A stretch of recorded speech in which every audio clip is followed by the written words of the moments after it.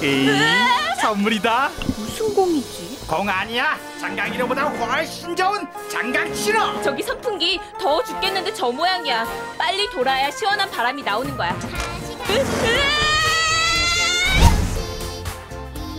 우리 아빠가 새로 발명한 장강 1호 덤벼라 힘내 7호 이번 실험만 성공한다. 전 세계를 정복할 수 있단다. 전 세계도 필요 없어 7호면 돼 치료가 뭔데?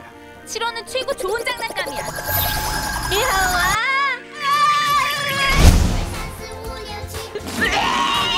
이번 체육 시간에 제일 멋있게 보이게 해줘 세상에서 최고 좋은 무적 운동화를 만들어줘 골을 넣겠다고.